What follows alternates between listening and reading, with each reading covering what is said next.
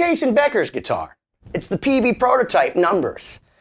Anyone that has the audacity, the ostentatiousness, the bombast, the magnanimous spirit to rock this ridiculous guitar, you know that dude shreds, or that girl shreds. Yeah, woman, they, them, his, hers, everything in between. They shred. If you have this guitar, you're either grandma trying to dial 911 or you're Jason Becker level. And so you know, ALS awareness for Jason.